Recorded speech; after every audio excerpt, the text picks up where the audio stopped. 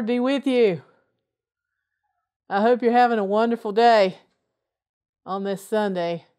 Welcome to this online worship service sponsored by Inman Presbyterian Church, as well as Landrum Presbyterian Church in the upstate of South Carolina. My name is Reverend Beth Hoskins. Um, I'm your fearless worship leader today.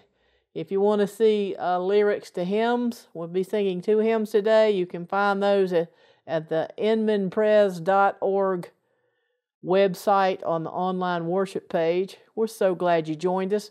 Just a couple of things for the church folks that are listening. In terms of announcements, the only uh, big things are in Landrum. Landrum, we are collecting items for Project Hope. The September items we're collecting are essential hair items, especially for ethnic groups. In Inman, the choir is meeting on Wednesdays at, at 7 p.m. to practice some things, and we're working on how and when we'll include those in worship. Both sessions meet tomorrow. Landrum meets at 2 and Inman meets at 5. I always like to flash up this uh, prayer concerns list for members who may be watching that you might uh, take a screenshot and pray for these people uh, during the week. I know that uh, we're still playing, praying for Elaine. Maria is doing really well in Landrum, and, and uh, but we're praying for Jeff Jr. and his wife and others in the Landrum area who are suffering from COVID. Um, also in Inman, uh, every Mildred's doing really well, but still needs our prayer. She had that surgery on her arm. Um, Tom G is doing better, but he needs a lot of prayers. He had that major heart attack as well as the others. So um, please pray for all of these folks, as well as you know Project Hope, Operation Hope, and Landrum, Inman Car Ministry, schools Ida victims in Afghanistan. Well, that's enough of that. Let's put aside the worries of the world and come before the living God to worship. I lift my eyes to the hills. From where will my help come? My help comes from the Lord, who made heaven and earth. He will not let your foot be moved. He who keeps Israel will neither slumber nor sleep. The Lord will keep you from evil. He will keep your life. The Lord will keep your going out and your coming in from this time on and forevermore. Let us worship the Lord. Let us join together in song.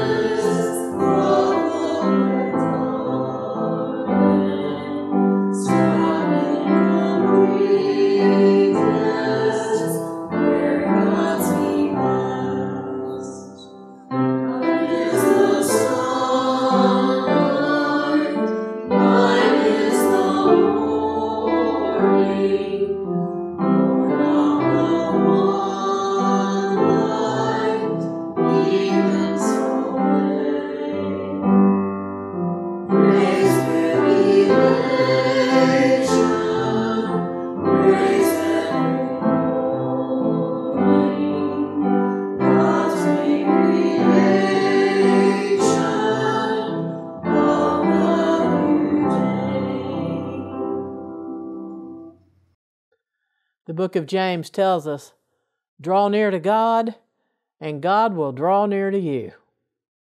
With this in mind, let us confess our sins using the prayer before you and then using the time of silence afterwards to lift up our personal prayers to God. I invite you to pray with me. Creator, you have made all things good and placed us as caretakers in your beautiful creation. Help us to see where we have fallen short and bring us to full awareness and appreciation for all you have created. Forgive us for any part we have played in damaging something so precious, and show us how we might make amends so you would be glorified in and through us. Amen.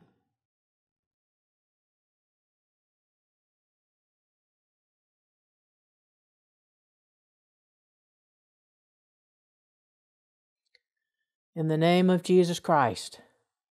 Amen. Therefore, having been justified by faith, we have peace with God through our Lord Jesus Christ. Hear the good news, brothers and sisters, that in Jesus Christ we are forgiven. Amen. I now invite you to think of all the things in your life for which you are truly thankful and to offer up your own prayer as we listen to this music offering by Joan Green.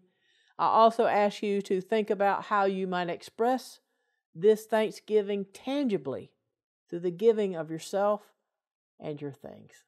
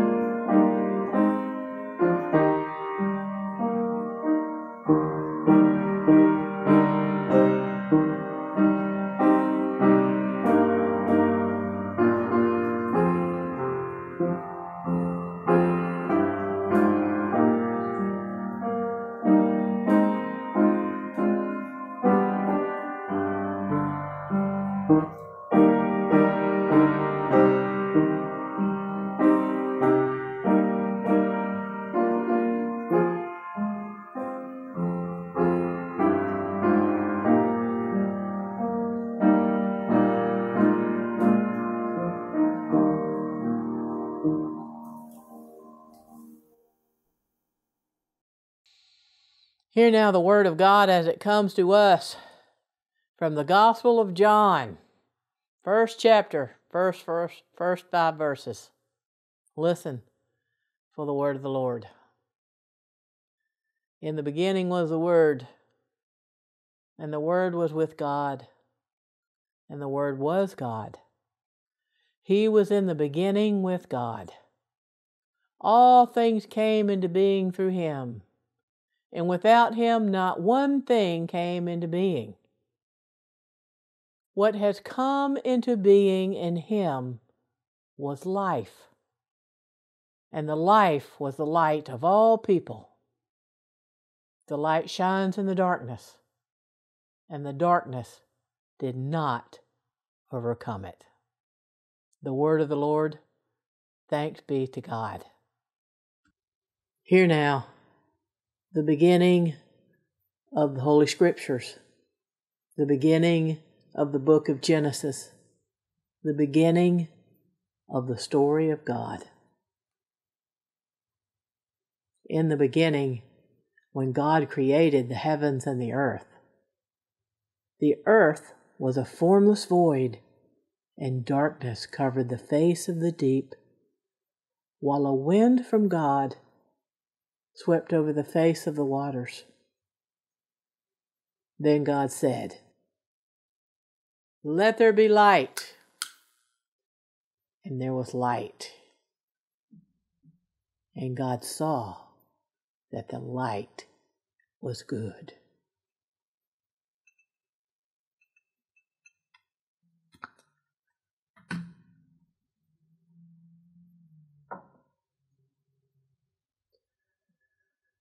And God separated the light from the darkness. And God called the light day, and the darkness he called night.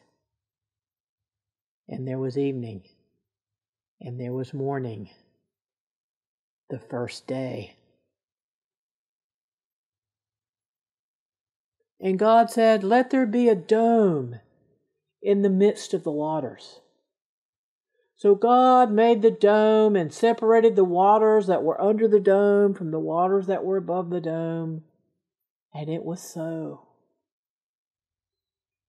God called the dome sky. And there was evening, and there was morning, the second day. And God said, Let the waters under the sky be gathered together in one place and let the dry land appear. And it was so. And God called the dry land earth, and the waters that were gathered together he called seas. And God saw it was good. Then God said, Let the earth put forth vegetation, plants, and seeds, and fruit trees of every kind on earth that bear fruit with the seed in it. And it was so.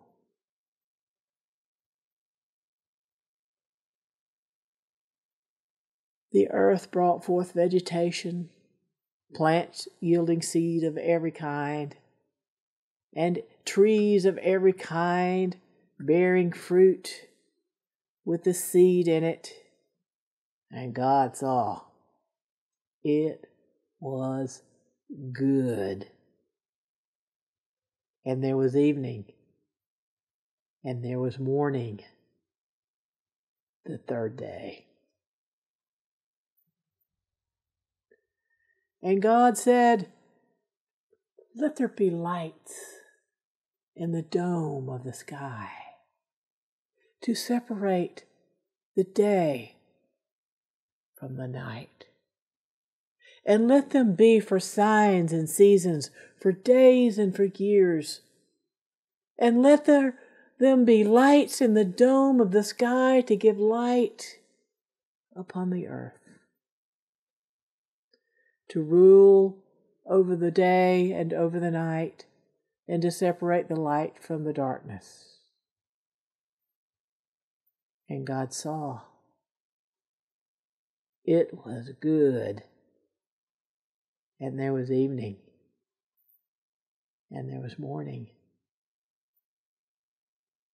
The fourth day. And God said, Let the waters bring forth swarms of living creatures, and let birds fly over the earth above, across the dome of the sky. So God created the great sea monster and every living thing that moves of every kind with which the waters swarm, and every winged bird of every kind.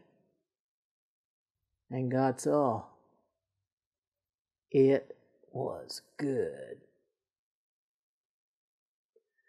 God blessed them, saying, Be fruitful and multiply and fill the waters in the seas, and let the birds multiply on the earth.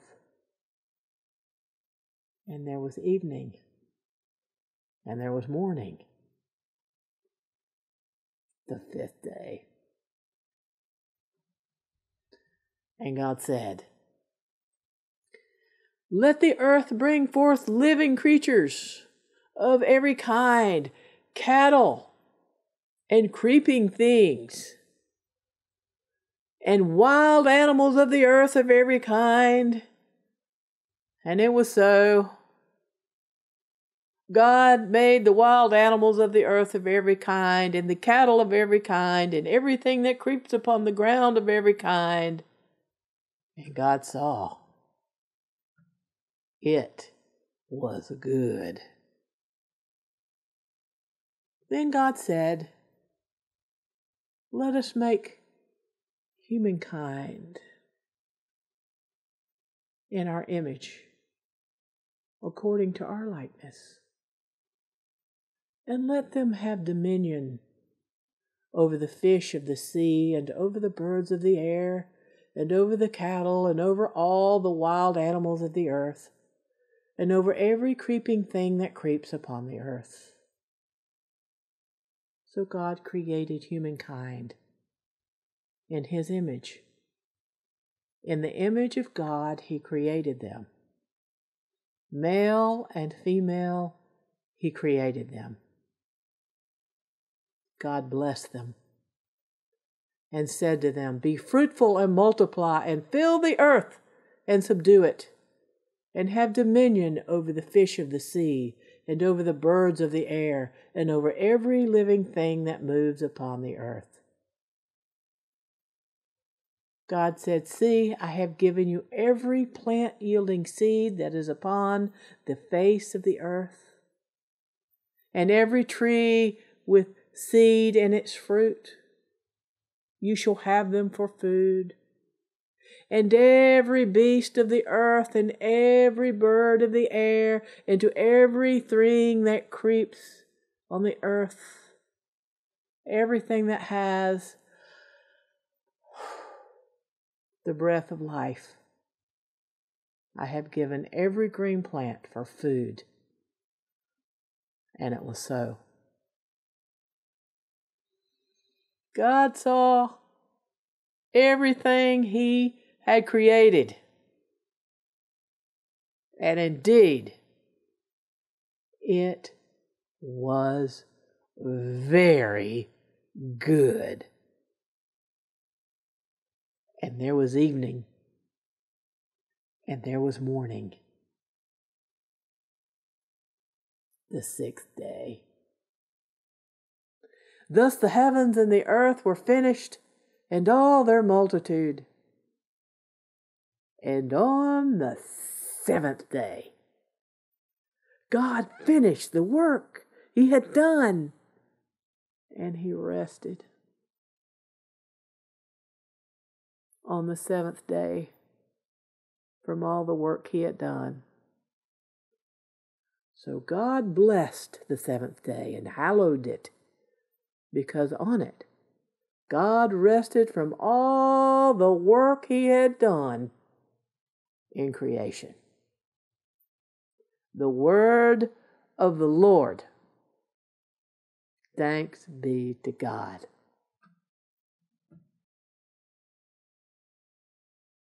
Preaching on this text in Genesis, to me, it's kind of like trying to preach on poetry, trying to explain what it means. It's really kind of a bad idea.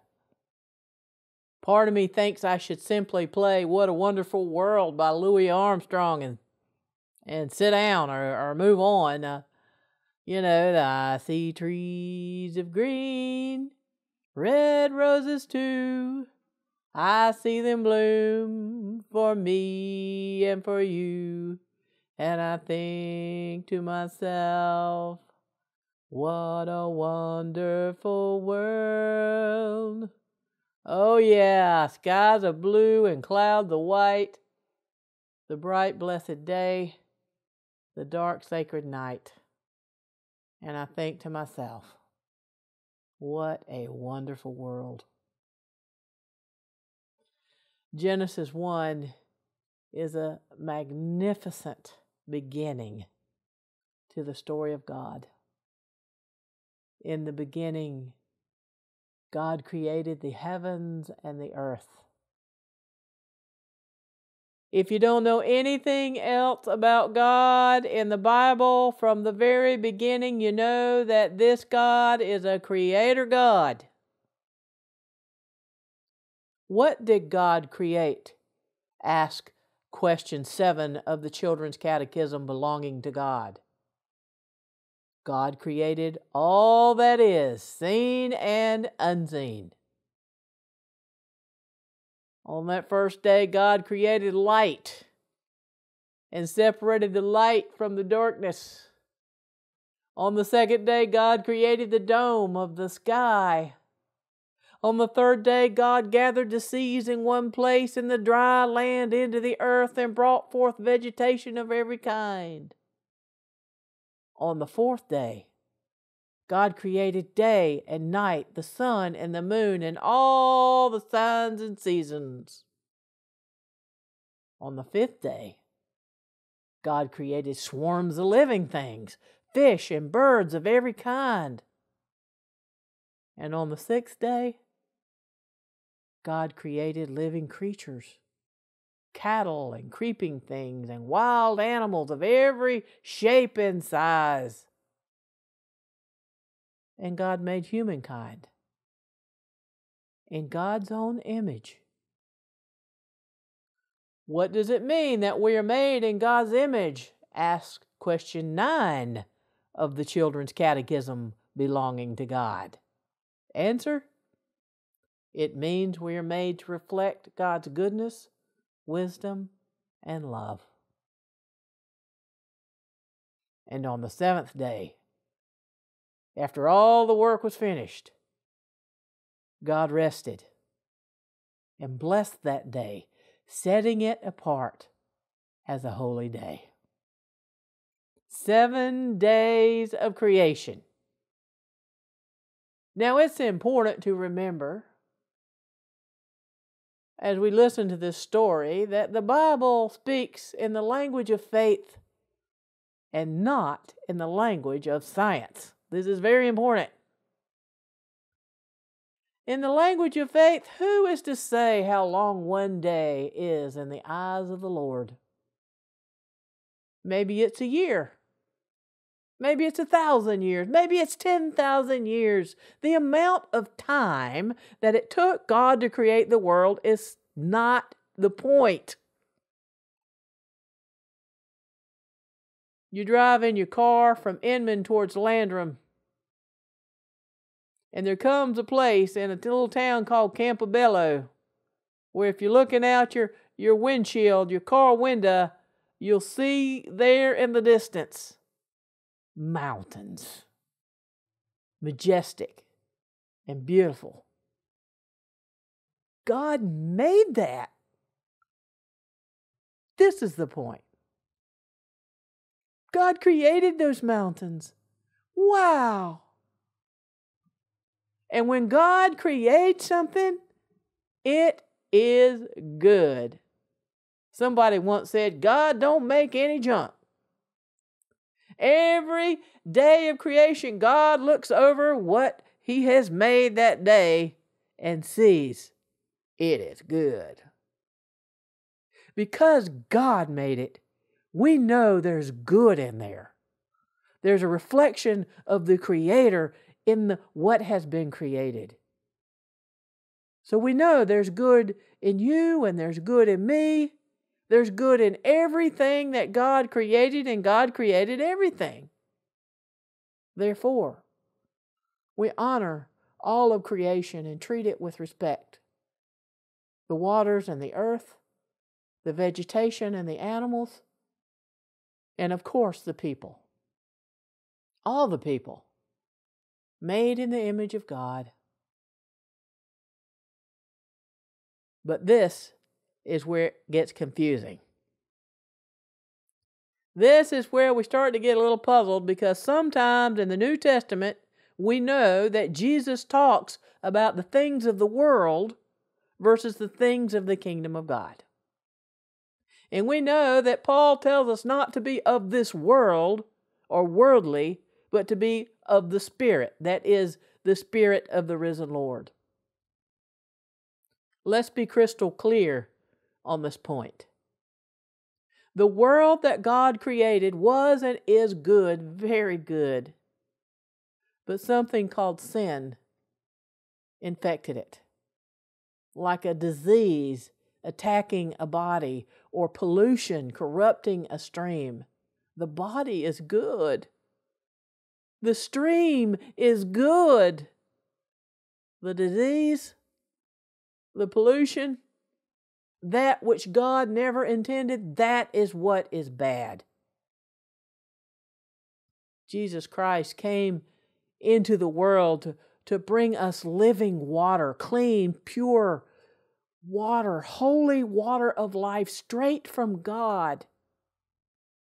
If someone brings you clean water, you don't mix it with the polluted water anymore. You keep it separate pristine, of God and God's Spirit, sacred.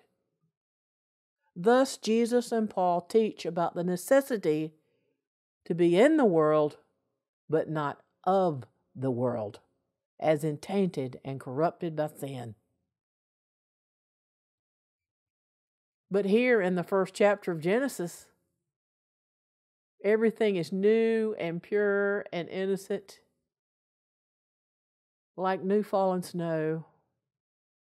There are not one muddy set of footprints yet. And so it is good, very good, which is why God will work so incredibly hard and give and sacrifice so much in later chapters to protect and redeem this, this precious creation after sin has entered.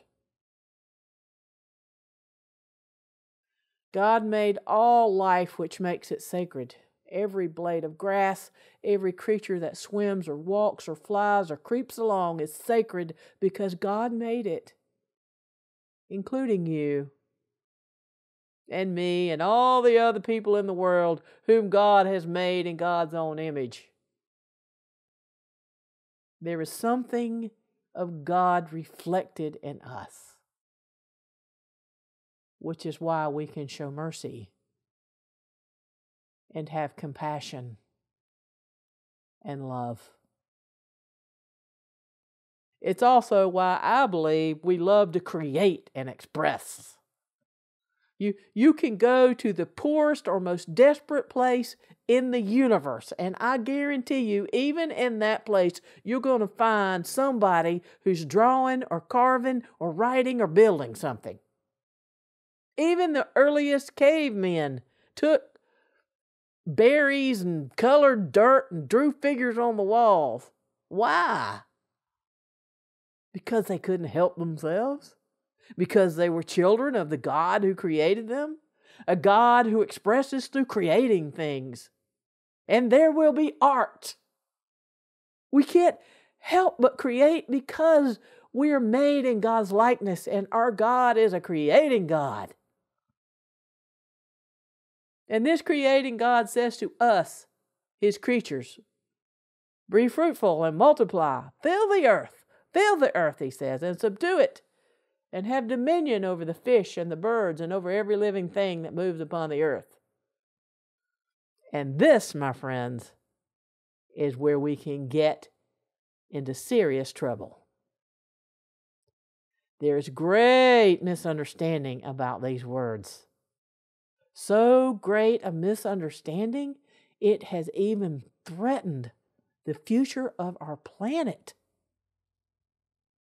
It's a theological misunderstanding.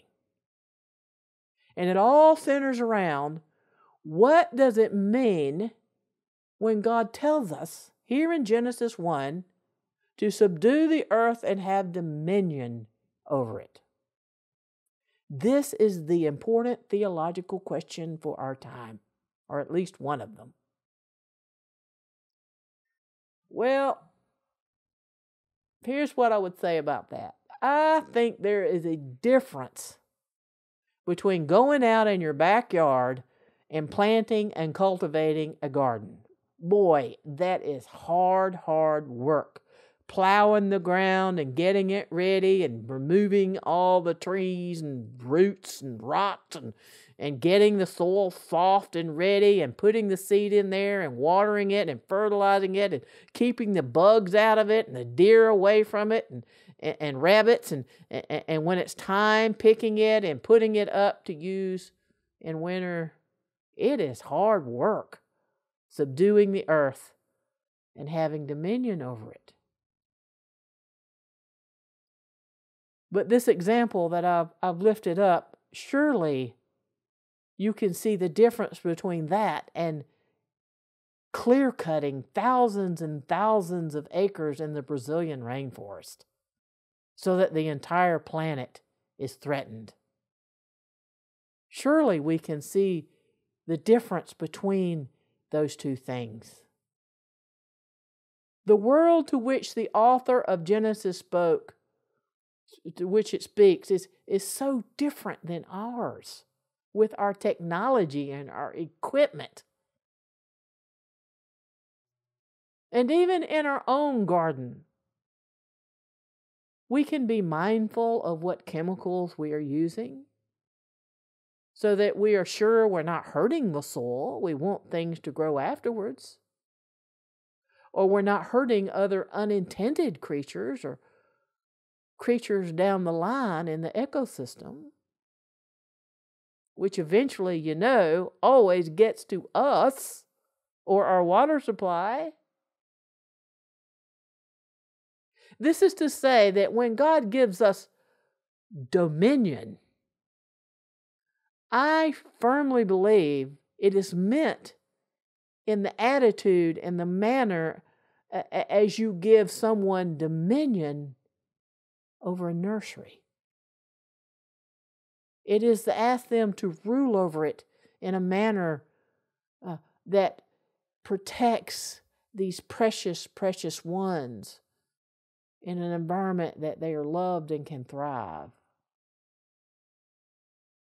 I believe uh, here in Genesis, God is telling us to use our intelligence and our power to watch over and protect what has been given over to our care.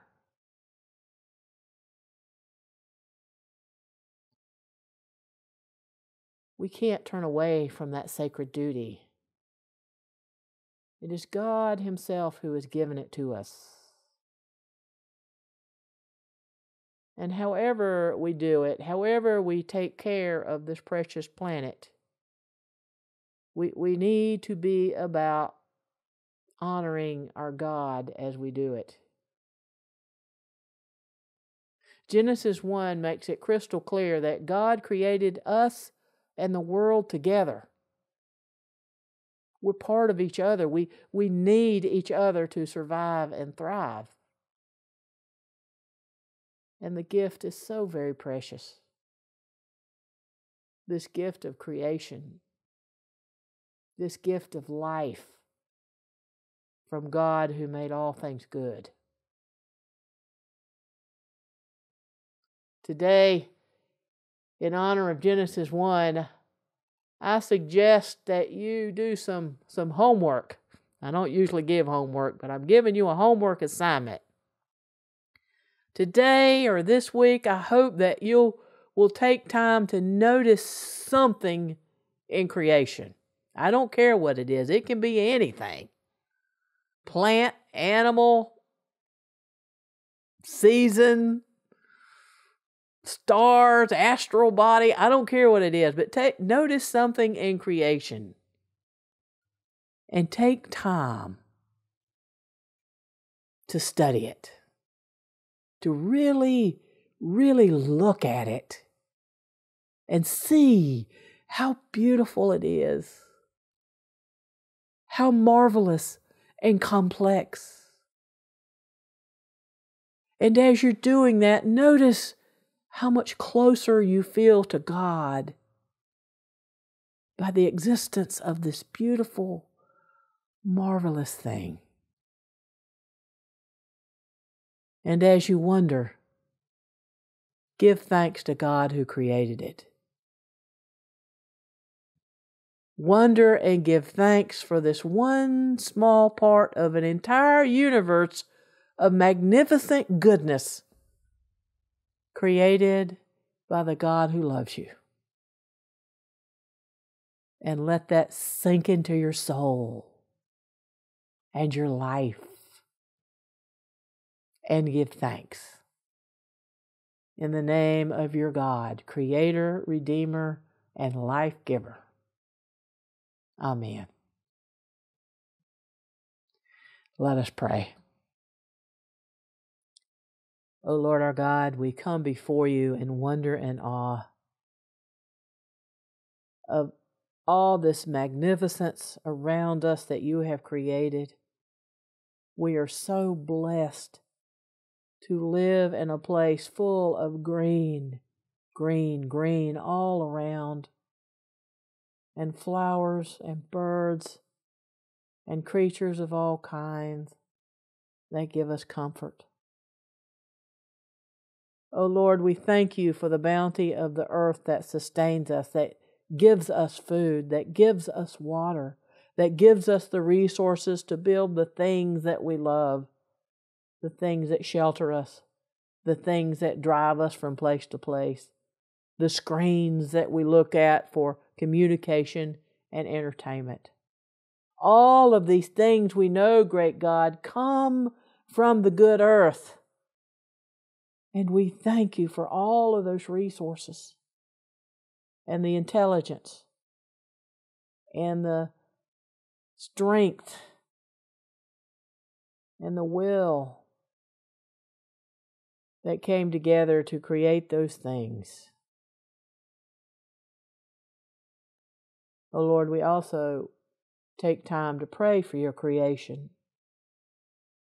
It's come to our awareness, especially in the last decade or so, that some of the things that we have done have come together to perhaps harm your creation.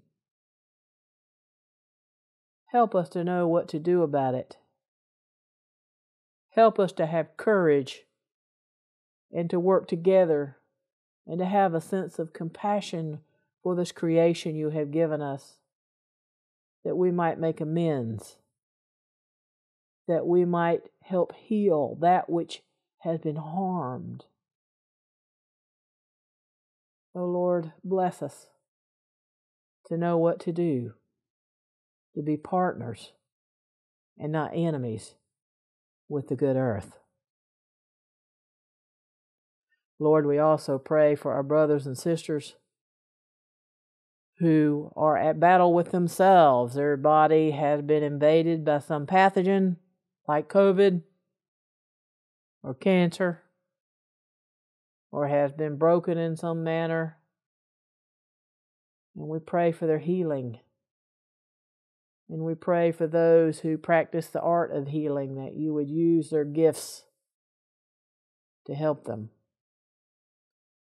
We also pray for our church that you would help us to love each other and to lift each other up and to be a blessing.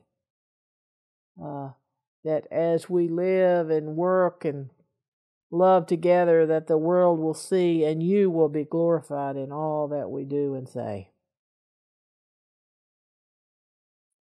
Lord God, we lift all of these prayers to you in the strong and sure name of your Son, Jesus Christ, who has taught us to pray together, saying, Our Father who art in heaven, hallowed be thy name. Thy kingdom come, thy will be done, on earth as it is in heaven. Give us this day our daily bread, and forgive us our debts, as we forgive our debtors. And lead us not into temptation, but deliver us from evil. For thine is the kingdom, and the power, and the glory forever. Amen. I invite you to join with me in the uh, creed known as the Apostles' Creed. I believe in God the Father Almighty, maker of heaven and earth, and in Jesus Christ, his only Son, our Lord, who was conceived by the Holy Ghost, born of the Virgin Mary, suffered under Pontius Pilate, was crucified, dead, and buried. He descended into hell. The third day he rose again from the dead. He ascended into heaven, and sitteth on the right hand of God the Father Almighty. From thence he shall come to judge the quick and the dead. I believe in the Holy Ghost, the Holy Catholic Church, the communion of saints, the forgiveness of sins, the resurrection of the body, and the life everlasting. Amen. I invite you to join in a closing hymn together. This is my Father's world.